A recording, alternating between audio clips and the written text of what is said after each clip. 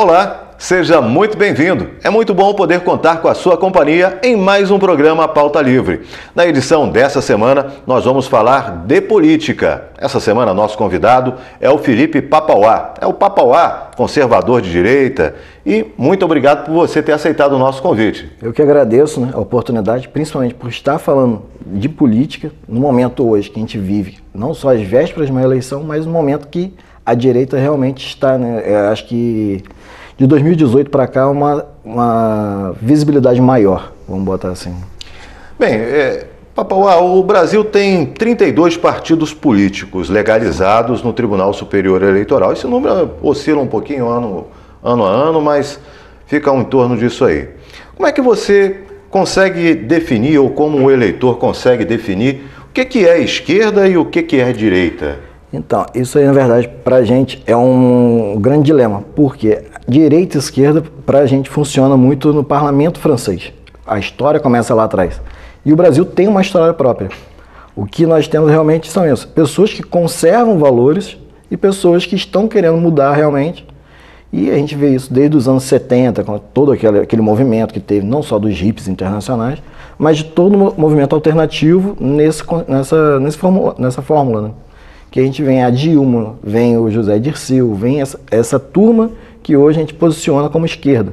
Ou alguns falam comunistas e tudo mais, porém a gente vê com essa, essa prisma. Na verdade, a, a versão é essa. São pessoas que querem conservar, seja a fé, a tradição familiar e outros valores né, que a gente tem que hoje não são tão aguçados pelo outro lado. Que são pessoas que querem realmente que você não tenha sua liberdade de fé, independente de cristianismo ou outra frente. Vamos supor, eu sou batista, mas fui criado num lar católico. E hoje, talvez, é, um filho meu que venha nascer, ou até o que eu já tenho, ele, quando tiver na nossa idade, hoje eu estou com 42, talvez não possa processar, é, falar sobre a fé dele, né, promover, por conta de é, questões políticas. Hoje você tem essa, essa vertente, assim. Ah, se você é católico, talvez você vai ficar meio encabulado ou inibido de falar sobre a sua fé, sobre o cristianismo, ou até mesmo você está indo à missa no domingo à noite, em determinadas rodas de conversa. Porque realmente acaba que estão tirando essa. que fala em patriarcado, fala em todo o fim dessa, desses. Né, Mas, é, Papalá, isso não seria um, um extremismo? Né? Assim, vamos pensar assim, porque extremismo tem dos dois lados. Tem do lado conservador e tem do lado é, considerado aquele lado que quer a mudança, o lado da esquerda. Então Sim. vamos definir para ficar fácil é, aqui, esquerda é, e direita, né? Só para a gente facilitar. É, é, não é exatamente a, não é uma divisão tão simples assim, mas só para a gente ter um entendimento aqui. Extrema direita e extrema esquerda. Isso. Como é que a gente consegue vislumbrar isso nesse sentido que você acabou de falar aí? Vamos supor, eu. É, um exemplo. O próprio aborto. Vamos botar aí que é um tema que acaba, dentro da fé, a gente identifica como realmente é, você está tirando uma vida. E a Igreja Católica e a Igreja Evangélica, todos que levam quanto manual de vida a própria Bíblia, elas são contra é, a prática do, do aborto sendo que a esquerda, por exemplo, ela tenta é, minimizar o impacto do aborto, dizendo algumas questões que pode ser desde você, ah, não, o aborto é aceitável devido às questões do, de estupro, por exemplo, né, que é um fato isolado, vamos botar assim, nessa categoria.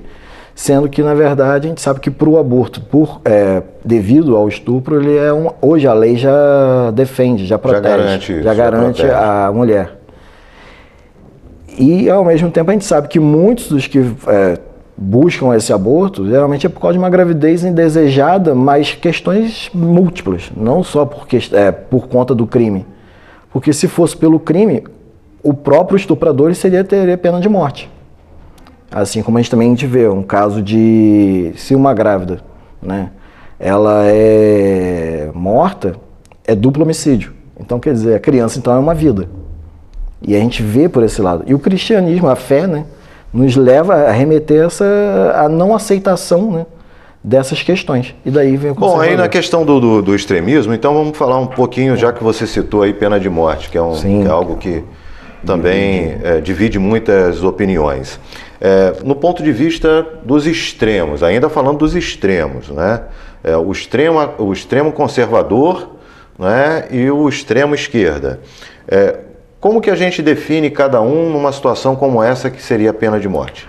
Um exemplo hoje típico, né? Vamos supor, se a pessoa comete um crime hediondo, como foi agora, teve a esposa é, de um empresário que ela foi solta agora recente, uhum. e depois de 10 anos de pena, eu esqueci realmente o nome dela agora, mas ela foi solta, que ela mutilou o marido, esquartejou e colocou na mala, e agora está de volta à sociedade. Foi o caso do, da, do empresário do IOC, né? Isso, obrigado. Ela está de volta à sociedade. Se isso acontece dentro da favela, dentro de uma comunidade, se ela esquarteja e mata o dono da, da boca de fumo, certamente aquelas pessoas de lá vão, vão ser a favor da pena de morte para ela. Então, quer dizer, não pode haver essas duas é, balanças. Porque se realmente a população aceita a pena de morte né, num crime hediondo dessa, dessa forma, por que não a justiça também aceita? E aí vão ver também, é, dentro da justiça, quais são os crimes que poderia haver para esse tipo de, de pena. Óbvio, não é e qualquer, né? Já que a gente está falando aí sobre pena e tudo, é, vamos falar um pouquinho sobre a maioridade, Sim. né? Que tem a ver, os assuntos são correlatos. É, se um adolescente, eu, adolescente, né? 12 anos já é adolescente, mas eu digo assim, se um jovem, né, com 16 anos, ele pode votar, ele pode ser condenado também é, pelo crime que ele cometeu, sem medidas socioeducativas. A gente está falando de pagar, pagar Sim, realmente isso. como pena, como se fosse um adulto. É, hoje o que a gente vê, vamos, é, nós, com a idade de 16 anos, nós tivemos que escolher a nossa profissão. Já tínhamos uma responsabilidade para o que queríamos para o resto da vida. Assim como é o caso da eleição, né, que ele vai, pelo menos ali, período de quatro anos, inicial, ele vai ter a opinião dele né, para qual candidato, qual a inclinação dele conhecer de política também, eu acho que isso talvez na escola não tenha sido dado ainda, o que realmente é a política e como ela vai mover, né? Até a energia que a gente usa aqui, um ar-condicionado, você vai ver de acordo com a energia do que os políticos estão aprovando lá em cima, para poder saber os valores e tudo mais. E a partir dali também, se ele comete um crime, e ele, óbvio que de alguma forma né, se posicionou para poder cometer um crime, seja um roubo, ou até mesmo um homicídio, ou qualquer outro que for, ele teve sim a condição psicológica de, de entender o que ele está fazendo, se era certo ou errado, ou por que motivo né, levou ele. Vamos juntar as, as duas é. questões: pena de morte e menor infrator. Num crime hediondo cometido por um menor de 16 anos, você seria a favor de uma pena de morte? O que acontece hoje, na verdade. Se você. Vamos começar o seguinte: a gente deveria ter uma educação para poder levar o jovem a não cometer. Eu acho que seria o primeiro passo social, é o evitar o crime. Mas a partir do momento que eles né, cometer um crime hediondo, ele voltar para a sociedade, o quão a sociedade está desprotegida daquele jovem. Ok. Acho que é essa. essa é, esse é um tema bastante delicado, né? mas a gente está abordando aqui, afinal de contas, o programa aqui é pauta livre, a gente vai pautando os assuntos. É, voltando para a questão é, é, política no, no CERN como um todo, porque tem a ver com tudo isso que a gente está falando, porque eu vou falar agora de legisladores, né? porque são eles os responsáveis né, por todas essas mudanças que são pleiteadas ou pela direita ou pela esquerda ou pela população de uma forma geral, que acaba não se enquadrando, digamos assim, nem por um lado nem por outro. Às vezes a população se enquadra, se, se coloca ou se vê em alguns representantes, Sim. tanto da esquerda quanto da direita. Dos 513 deputados federais eleitos, apenas 27 dependeram dos próprios votos para se eleger. Ou seja, os demais 486 deputados foram puxados para a Câmara com os votos dados aos partidos e pelos demais candidatos que vão puxando a legenda, né? Isso ocorre porque o sistema de eleição para a Câmara dos Deputados é proporcional. Como é que você avalia isso? Então, hoje, na verdade, a gente vê até a questão mesmo de existir partidos, a eleição, no caso, por nome, Acho que seria até mais válido hoje. Porque realmente nem todos os candidatos eles estão de acordo com seus partidos. Eles vivem realmente os valores do partido. A missão, visão, valores do partido nem sempre são defendidos por aqueles parlamentares, né, uma vez no mandato.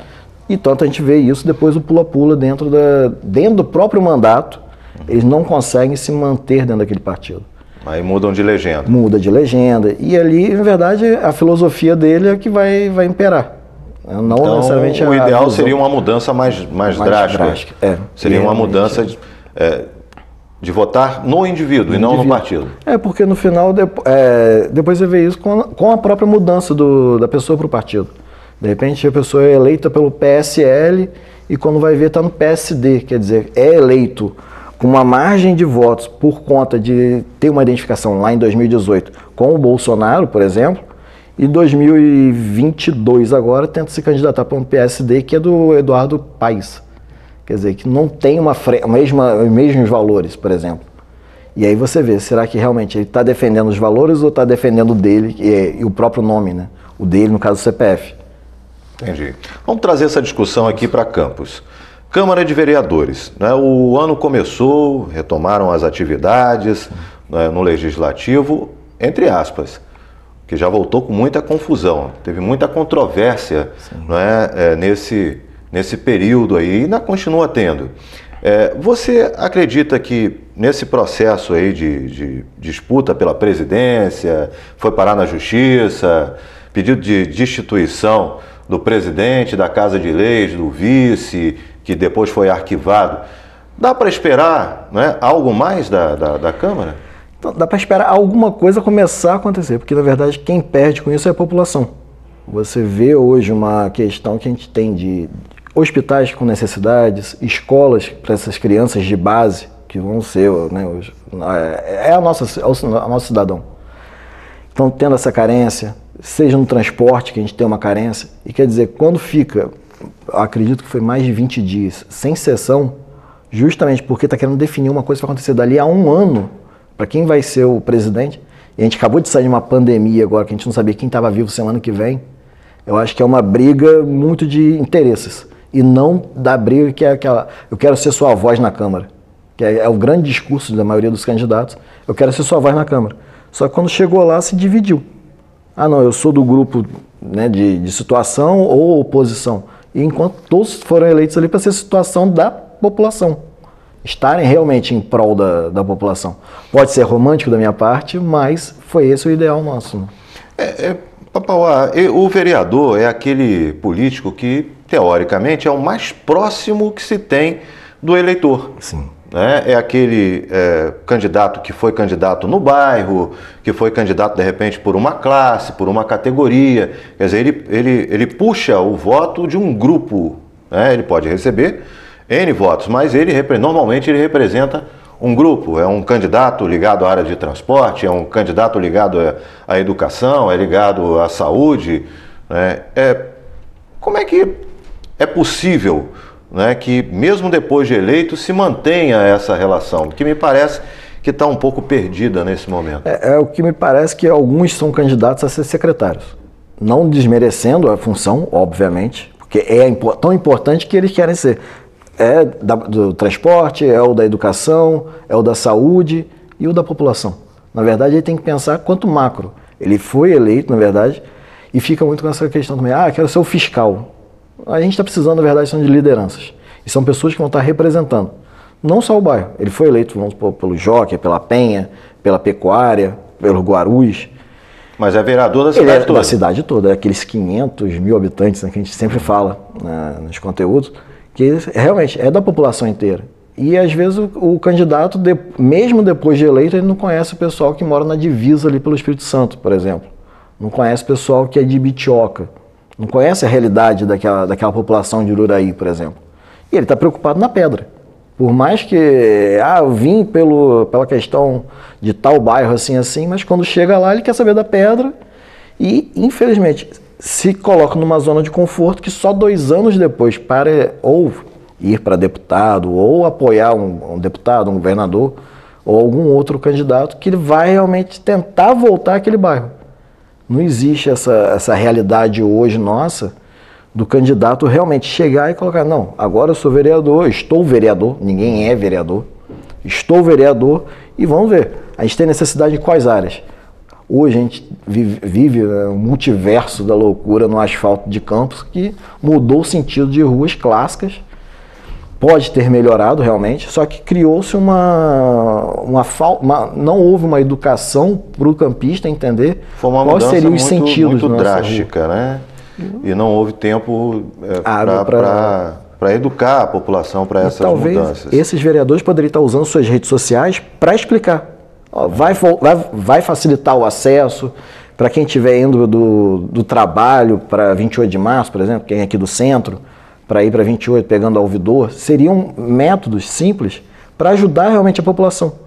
Eu acho que não é só essa coisa, ah, não, que o prefeito fez e tal, aconteceu ficou sem asfalto. Não, vamos, vamos, tentar ajudar. O problema já existe. Agora a gente precisa da solução. E aí entraria o vereador para suporte. Ok. A gente vai fazer um pequeno intervalo, mas volta já com a sequência do programa Pauta Livre. A gente está falando sobre política, está falando também na visão do Papauá, que é o lado direito da história, digamos assim. Mas a gente volta em instantes e você pode ficar ligado na gente. Voltamos no programa dessa semana. Estamos recebendo aqui, no Pauta Livre, o Felipe Papauá, conservador de direita. Papauá, a lei da ficha limpa foi criada lá em 2010 e até hoje é pauta nos principais veículos de comunicação em âmbito nacional. Isso porque ela mexe com a possibilidade da candidatura de políticos em eleições, principalmente quando chega próximo ao período de eleição, todo mundo se lembra lá da, da lei da ficha limpa, não é? é e ainda é discutida lá no, no Tribunal Superior, questão de constitucionalidade, enfim. Qual a importância da lei da ficha limpa para o cidadão? Não é para o político, para o cidadão. Cidadão. É, na verdade, o que realmente eu coloco como o marco dentro da direita, principalmente em Campos, que é que eu vivo, né? A direita Campos, a gente tem quanto marco a própria ficha limpa. Lá em 2010, né? principalmente em 2012, que começou a primeira eleição nossa, né, de fato, aqui municipal, que traria essa, essa regra né, para as eleições, traria para a gente garantir isso. Dentre elas, hoje, por exemplo, trazendo já 12 anos depois, a gente ter, não teria, por exemplo, uma pessoa que foi presa cinco vezes né, por conta de questões políticas, não é por conta de questão pessoal, de vida própria, por questões políticas, que querer concorrer novamente ao governo do Estado. E é justamente é, é essa insegurança. Porque hoje, ah, não, eu não. Um exemplo que seja, ah, eu não quero votar no Freixo, o, o Cláudio Castro não está realmente. É, me trazendo essa, esse retorno, mas eu tenho medo de um garotinho vir candidato, por exemplo. Hoje, é, quem realmente buscou lá atrás uma ficha limpa, o projeto realmente de ficha limpa está em, em exercício hoje, você quer pelo menos a garantia de que as pessoas que estão concorrendo são realmente pessoas que não, não trazem problema para a sociedade. Porque, querendo ou não, a gente está colocando em prática a, a verba pública. Né? os nossos impostos estão ali, que a gente paga, né, é imposto né, realmente. Você não tem a opção, ah, não vou pagar, não, não quero, não quero participar disso, não vou pagar. Não, o dinheiro, mas ele quer ser aplicado. Ele quer realmente aquilo ali voltando para o Estado, voltando para as escolas, voltando para a população e dando benefício. E não sendo favor, né? que a gente acaba vivendo essa, esse dilema. O... Nós tivemos aqui é, os últimos vereadores né, na sequência, todos com problemas com a justiça né, e, em sua maioria, presos. Né. Então, nós tivemos uma, é, um drama na, na, situação envolvendo o Cabral, né, depois o Pezão, e o pessoal foi para as urnas, colocou um novo, e esse novo também acabou tendo problemas na justiça e acabou sendo retirado do cargo, né, que foi o Wilson Witzel, que embarcou meio que de carona no Bolsonaro. Né? Isso. E para a gente é um grande problema porque aconteceu um fato né, que realmente era uma pessoa tecnicamente ficha limpa, uma uhum. pessoa que se... que se colocava como conservador, né, se colocava como, como direita, juiz, né, juiz, tinha um posicionamento, e aí? E aí a gente teve essa, né, essa questão com ele foi o seguinte: na verdade, quando foi identificado que realmente é, faltou histórico, vamos botar, por mais que a gente pegasse a história superficial do Itzel, e hoje com a internet a gente vê muito isso, claro, você tem como filtrar realmente saber quem são seus candidatos. Não, ah, eu, eu sou de direita, eu sou conservador, beleza. Dória veio com esse discurso, o Itzel veio com esse discurso, Alexandre Frota, a galera ignorou o passado recente dele de trabalho, né, vamos botar assim. E a Joyce Huffman, também, deputada, Huffman, enfim, ela veio também com esse discurso, sou conservadora, sou de direita, mas realmente a gente não buscou saber na essência daquela pessoa qual era o seu perfil. Tanto que, inclusive, o MBL né, deu o que deu. A gente teve agora recente é, o Mamãe Falei destituído né, da, da LESP. E realmente a gente tem que ter realmente. É, ah, por mais que eu diga, eu sou de direita, sou conservador, pesquisa, conhece a história do candidato. Porque realmente muitos sem história que vão querer aparecer agora e dizer, não, eu sou de direita, eu sou de conservador.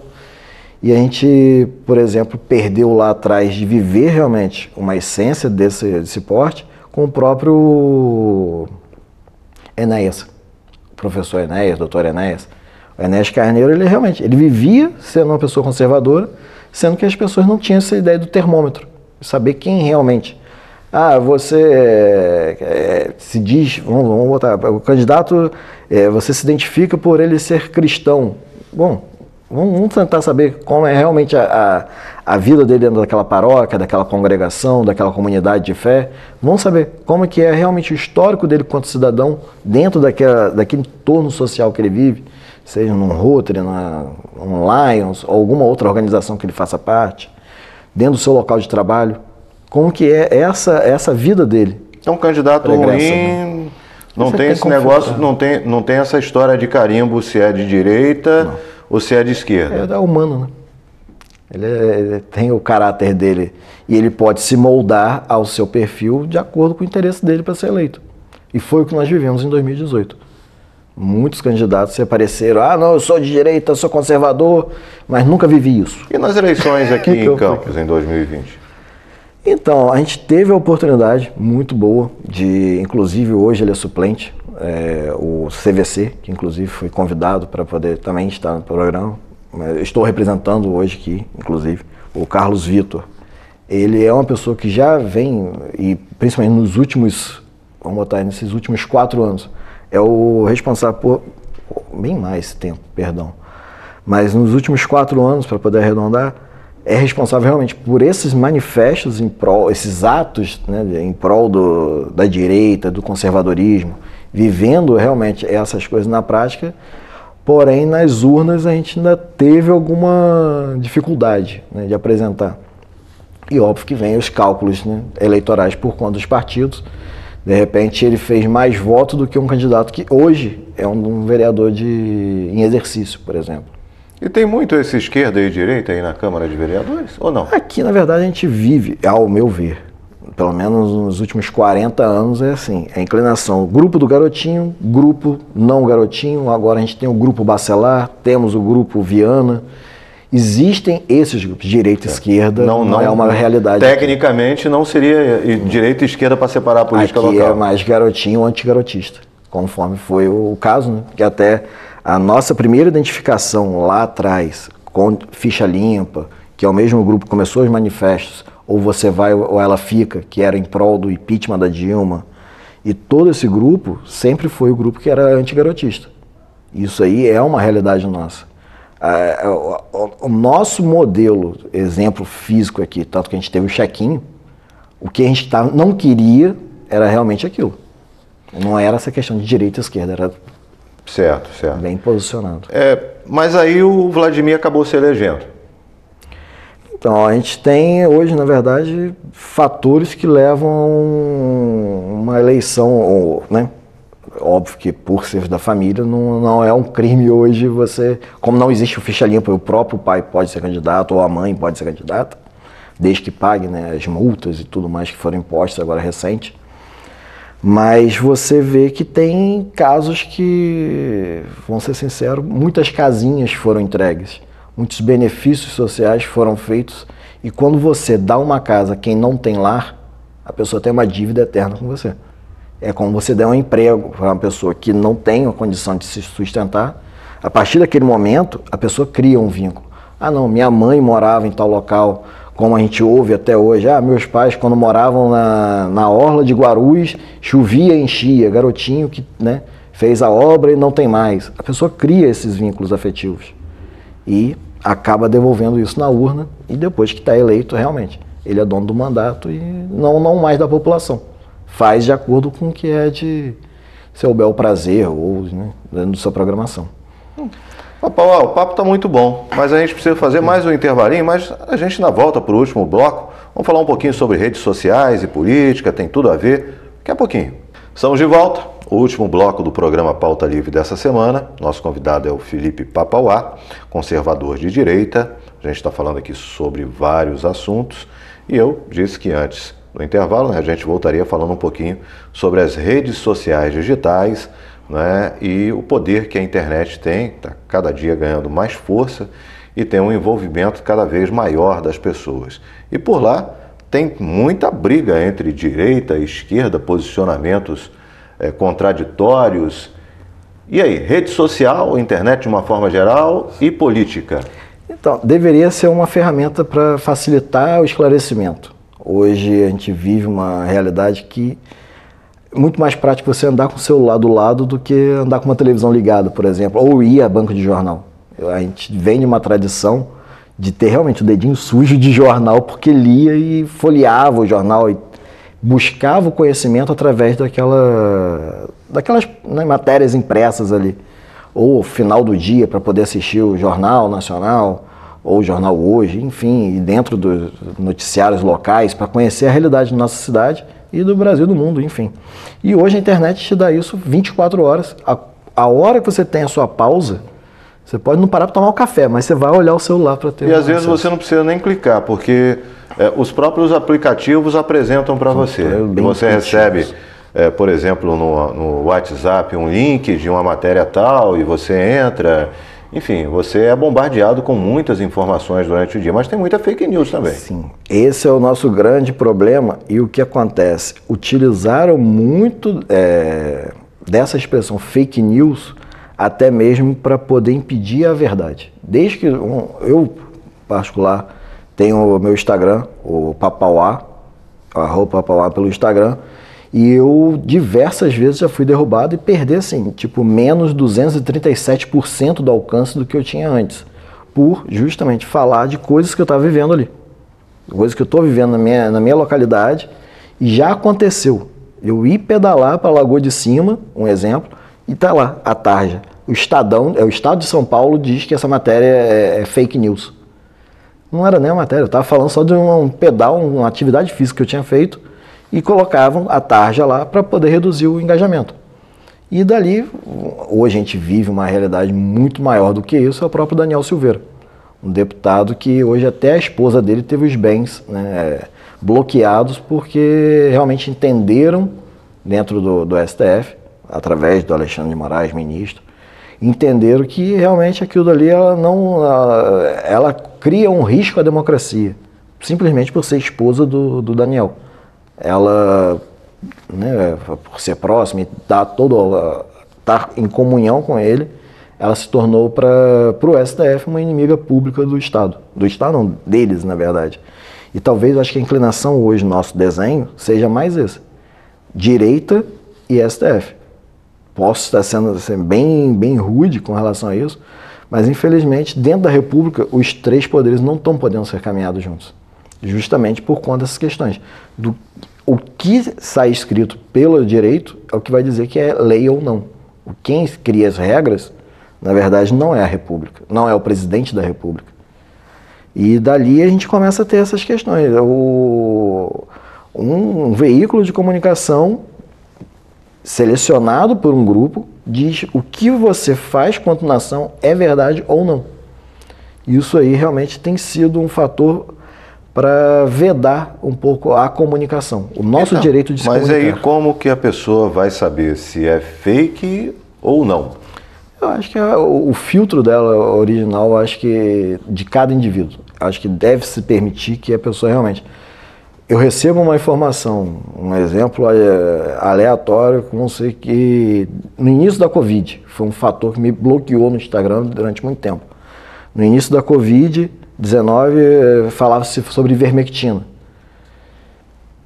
Eu sou um caso de uma pessoa que sobrevivi, estou aqui, fiz todo o protocolo, fiz medicamento, tomei a vermectina, azitromicina, todo o medicamento que foi recomendado pelo presidente. Mas para o Instagram aquilo dali era proibido. Não poderia se falar sobre aquilo naquele momento. O, o filtro talvez seja aí. Procura mas saber aí, se realmente na sua Mas assim, mas você, você seguiu a recomendação, você falou aí, seguiu é. a recomendação do presidente. Mas não deveria seguir a recomendação do médico? O que, que faltou? O médico também me recomendou isso. Ah. Aqui no hospital, só que eles não, em muitos dos casos, eles não falavam abertamente. Mas dependendo do seu grau de intimidade ou do relacionamento na consulta, você falava, não, vou prescrever aqui e tal, você pode ir na farmácia e toma de 6, 8 horas, enfim, 12 horas, seja lá qual for o medicamento. Mas, inicialmente, popular, uhum. veio partindo lá de cima, e óbvio que prescrição, sem a prescrição médica eu não conseguiria comprar no, na não, drogaria é, daqui na cidade. É, Nem no, existe existe, existe realmente uma, uma, uma limitação né, de compra para determinada, um impedimento, na realidade, sim, sim. de compra para determinadas medicações. É, você falou numa questão envolvendo o presidente Jair Bolsonaro. Não, o presidente foi eleito, ele sempre se posicionou como é, um já se posicionava antes como parlamentar de direita, Sim. depois veio a eleição para a presidência da República, ele foi eleito, mas essa relação dele com os poderes tem gerado muita controvérsia, digamos assim. É, é, você acredita que é, o Bolsonaro hoje ele está se policiando um pouco mais? Porque logo ele entrou, ele falava muito, criticava muito, brigava muito com os poderes, e hoje eu estou percebendo, não sei se é uma impressão minha, eu estou percebendo o Bolsonaro lá no cercadinho, falando o que ele pensa e tal, mas tem se policiado um pouco mais. Sim, é, na verdade, a maturidade, eu acho que é cada um, né, você vai, de acordo com a vivência sua, em, vamos botar no local de trabalho, a gente acaba tendo um comportamento diferente. Você vê que realmente extravasar não estava sendo permitido o alcance do, do que ele queria realmente falar. O, tanto que ele cita diversas vezes: Conhecerei da verdade, a verdade vos libertará, que é de João 8,32, salvo melhor juízo. E realmente as pessoas começaram a buscar dentro da, do que era realmente verdade ou não, para poder elas estar mais liberta com relação a isso.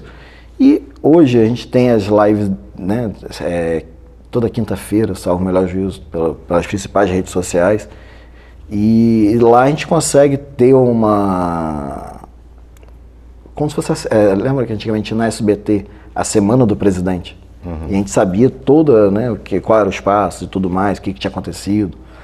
E hoje a gente tem essa, esse relacionamento com a, a presidência da República através das redes sociais, redes sociais né? dele.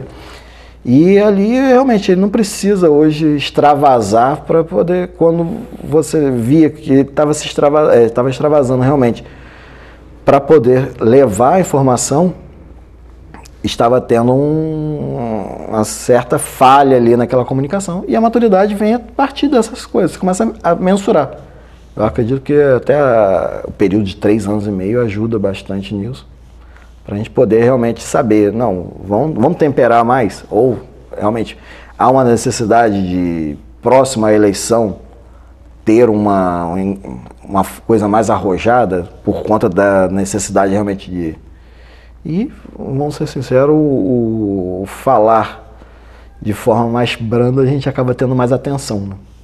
É, a gente está tá, né, num momento em que o, o presidente está buscando é, aprovar uma redução do ICMS para o preço dos combustíveis junto aos estados. E já até sinalizou a possibilidade de é, ressarcir, entre aspas, né, os estados desses recursos né, que vão deixar de ser é, captados pelo ICMS dos combustíveis.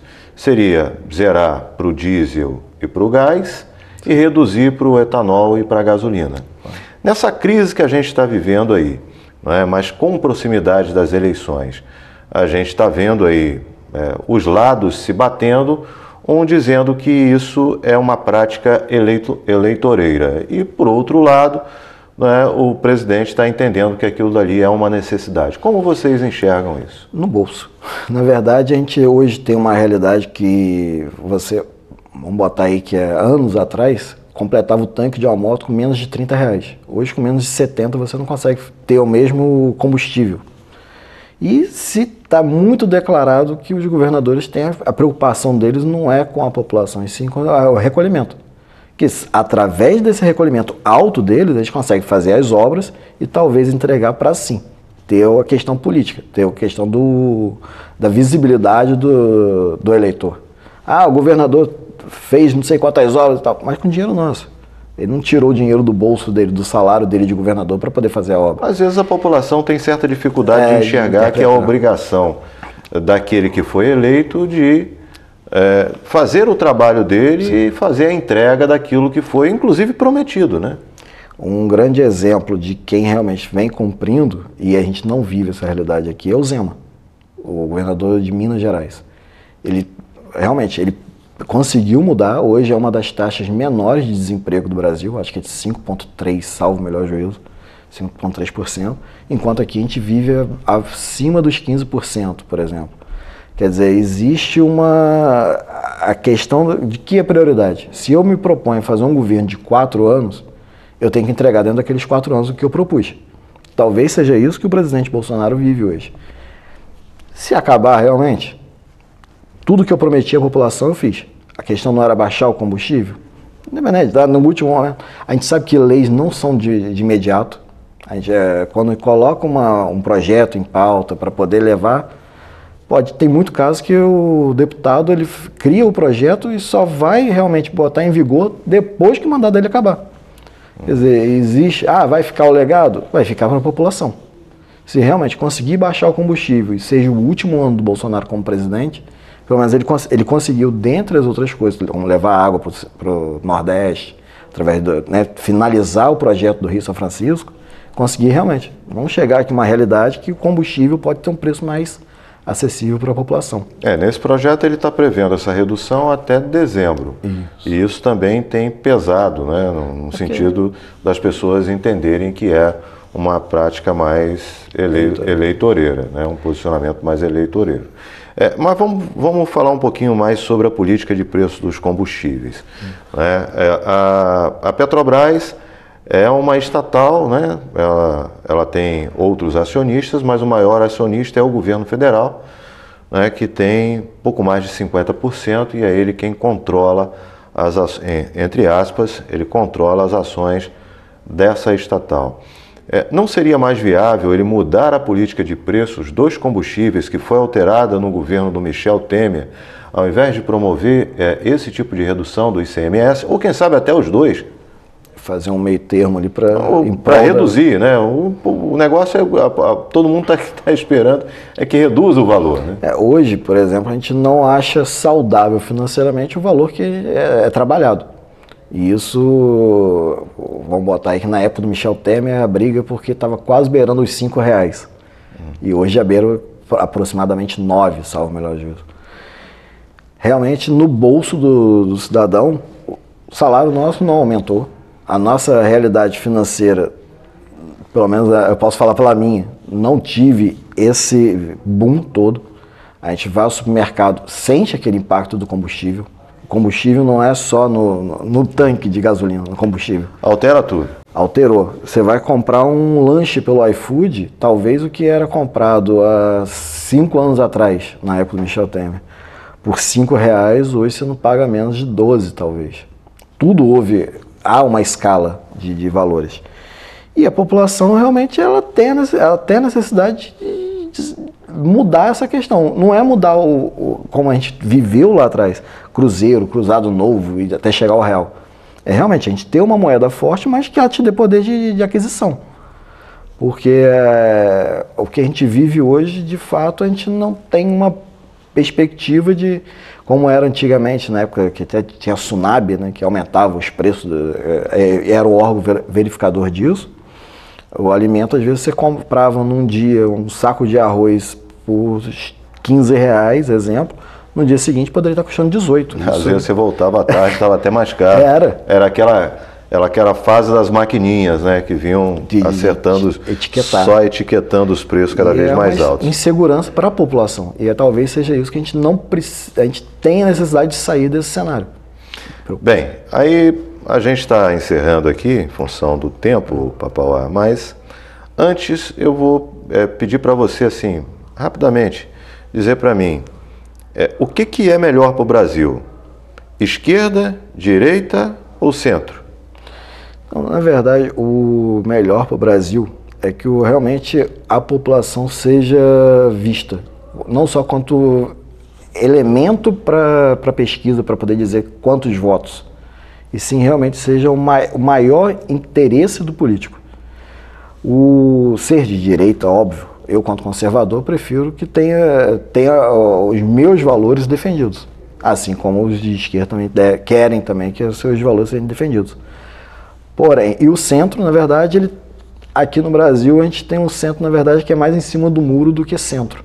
Na verdade, você não, tá, não tem um centro que realmente seja uma pessoa que vai dividir aqueles conceitos. É a pessoa que, de repente, não, pode ser que eu negocie com a esquerda, posso ser que eu negocie com a direita, perdão. Ele pode negociar com ambos os lados, mas só que não é isso. Eles têm que ter. É, realmente seria bom se o centro fosse para negociar com a população. O que, que realmente a, a, população precisa? Como que realmente a gente pode fazer para poder melhorar a vida desses? E a direita realmente é o que tem mais buscado essa frente. E hoje nosso representante dentro do cenário nacional é o Bolsonaro, isso é fato. Assim como a esquerda tem o próprio Lula e todos os demais que estão vindo vão ser simplesmente só para poder morder o fundão eleitoral, que é uma pena. Papauá, muito obrigado pela participação. Né? A gente tem mais assunto para conversar. Vou convidá-lo novamente para a gente bater um papo aqui no Pauta Livre.